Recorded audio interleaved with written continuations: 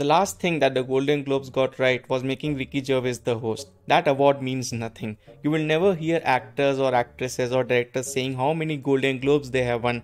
Your second hand car that is 5 years old is worth more than a Golden Globe. I'll just let Ricky Gervais explain to you all why this award means nothing. One Hollywood publication said that me hosting would mean that some film stars would stay away for fear of being made fun of. As if film stars would stay away from the chance of winning a Golden Globe, particularly if their film company has already paid for it.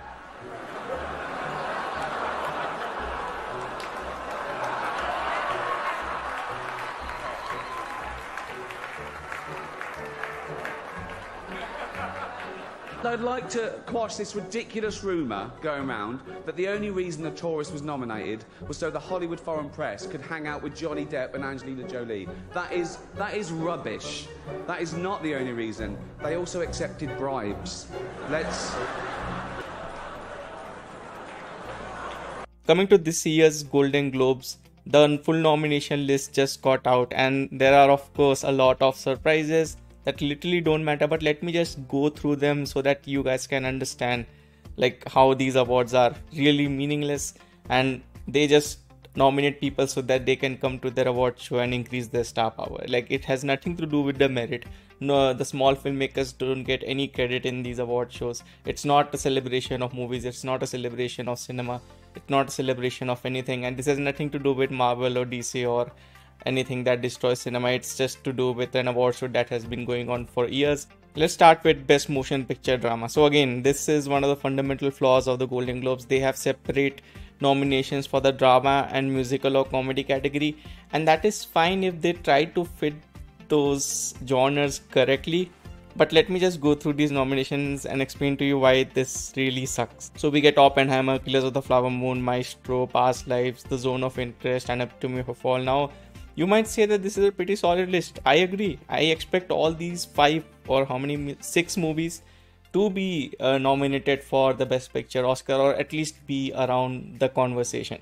So I have no problems in this best motion picture. I mean, the problem comes when I discuss about the musical or comedy section. Now here we get Barbie, Poor Things, American Fiction, Holdovers, May, December, and Air.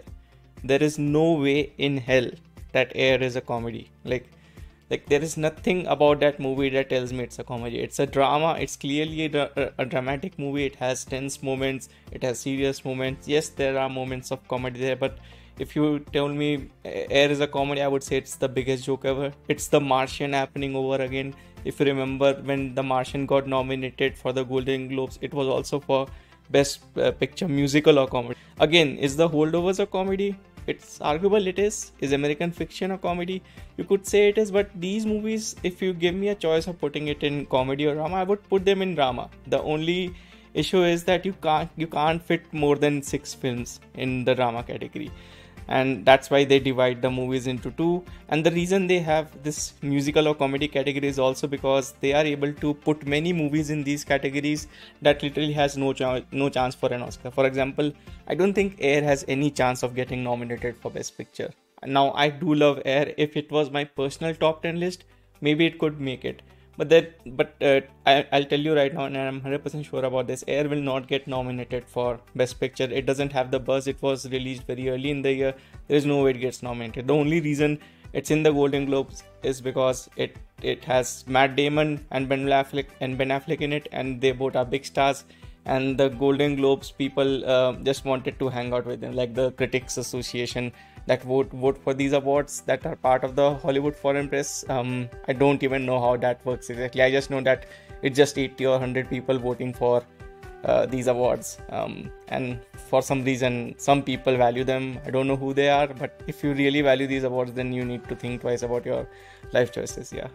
Now, when it comes to Best Director, again, I don't think there are any surprises in the Best Director category. Um, I think this one is not divided into um, musical or comedy and drama but uh, again I, I expect all of these to be there even in the oscars. So maybe this is one category that they got right. So moving on to screenplay again no surprises here. All these are pretty expected. Um, best performance by an actor in a motion picture all these are fine. But again they have divided the actor category into two we have musical or comedy as well and here we can see some weird nominations that are never going to happen in the oscars. Matt damon is never going to get nominated for air.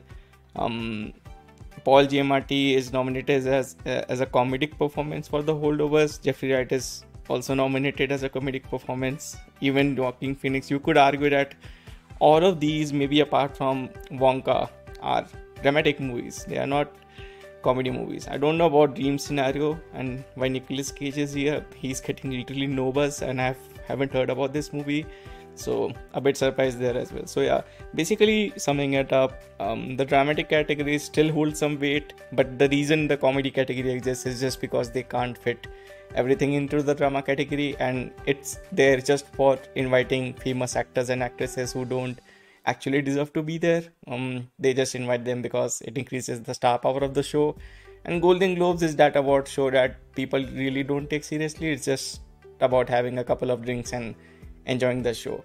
Um, and I'm actually glad that it exists because we have we had Ricky Gervais hosted five or six times I think, and the best thing that they could actually do to this show is inviting him again so that he can make fun of the Golden Globes and we all can have, have a good time. But yeah, um, I don't think many people take it seriously, but some people still do. Like after the Oscars, the most uh, that I hear about is actually the Golden Globes, which is pretty funny. I think the SAG Awards or the DGA or the PGA are like much more worth than the Golden Globes. But again, I think this is because um, it is being produced by a by a big company and it gets a lot of viewers as well. So yeah, I think those were just my thoughts about the Golden Globe nominations this year. It really doesn't matter. I just wanted to make this video to cover um, the award show. But yeah, you won't be hearing me saying that this movie has a better chance to get nominated for an Oscar because it got nominated for a Golden Globe. That argument, if anyone makes that argument, I'm telling you, it's just false. It's not true. It doesn't make any sense. These are just 80 or 100 people. So there is no no overlap here. There is no correlation here. Golden Globes can be bought, can be sold um, like I said, it's worth less than your second-hand fridge or your second-hand car that has been running for five or ten years. It doesn't really matter.